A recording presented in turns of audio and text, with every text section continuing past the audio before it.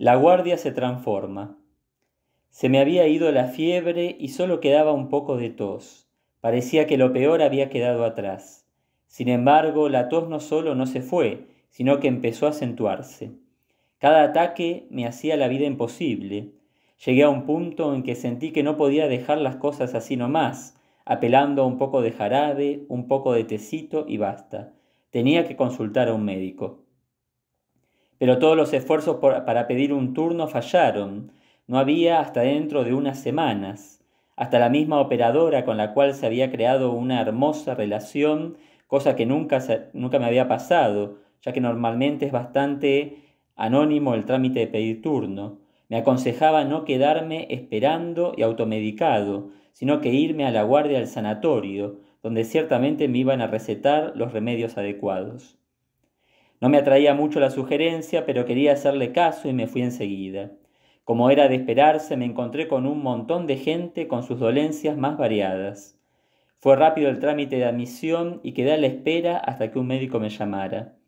Mi mirada recorrió a todas esas personas, todas bastante ensimismadas por cierto pero mi atención se detuvo en una de ellas en particular, una mujer algo mayor, con una mirada asustadiza ante lo que podía llegar a pasar. Justo había una silla vacía a su lado. Ciertamente no sabía cómo hubiera sido posible entablar una conversación con ella, pero las circunstancias me ayudaron. De repente me sobrevino un ataque de tos que casi me revienta. La señora me miró con compasión y sacó de su bolsillo un caramelo. Es de propóleo, le hará bien. El hielo había empezado a romperse. Desde el caramelo, la conversación pasó por mi castellano trucho, hasta que llegamos a la razón de su estar ahí. La confianza había tomado el espacio del miedo y ella me comentó de su esposo fallecido hacía poco, de sus hijos lejanos residentes en Europa, de sus vecinos, hasta de su perro. Finalmente la llamaron. Aliviada, se levantó y se fue. Me puse a rezar por ella para que se recuperara pronto, hasta que llegó mi turno. Luego de revisarme, el médico me dijo, acá hay que poner una inyección y una placa. Al final, volverás nuevamente acá y veremos cómo continuar. Me armé de paciencia y empecé mi recorrida. Me colocaron la inyección al lado de la cama de una persona accidentada, las náuseas que me provocó la sangre en esa persona eran mi monedita para ella. Finalmente me hicieron la placa y fui de vuelta a la sala de espera en la guardia. La gente había desaparecido, quedaban solamente un joven con una tos como la mía y una señora poco segura en sus piernas que esperaba al traumatólogo. Me armé de paciencia cuando de repente un poco de lío, una señora apareció con su abuelo en silla de ruedas, quien no lograba respirar normalmente y llevaba consigo una instalación portátil de oxígeno. Acompañados por tres niños pequeños, la sala parecía llenarse con esa sola familia.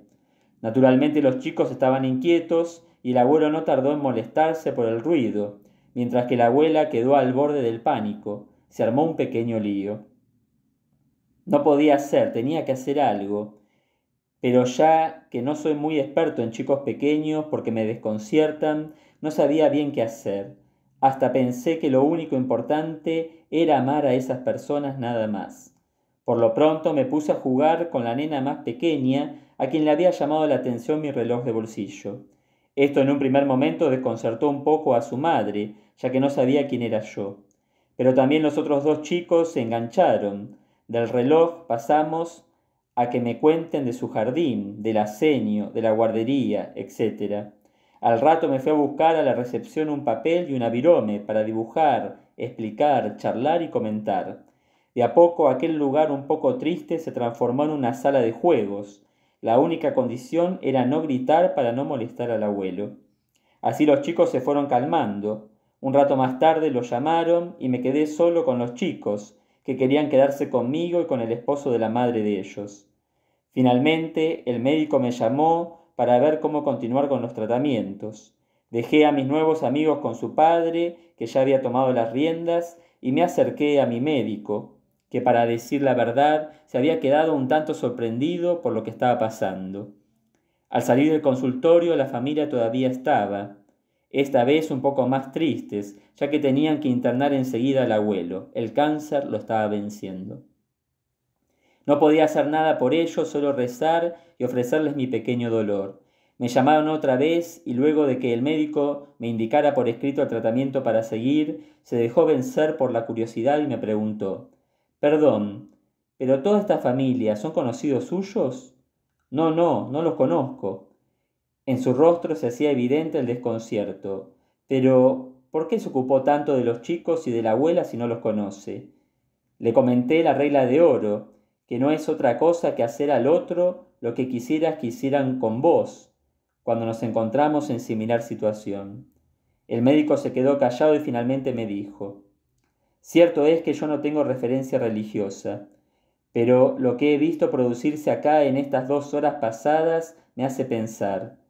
Para mí los cristianos hasta ahora eran gente rara, incomprensible y poco atrayente, pero quién sabe, habría que rever mis prejuicios.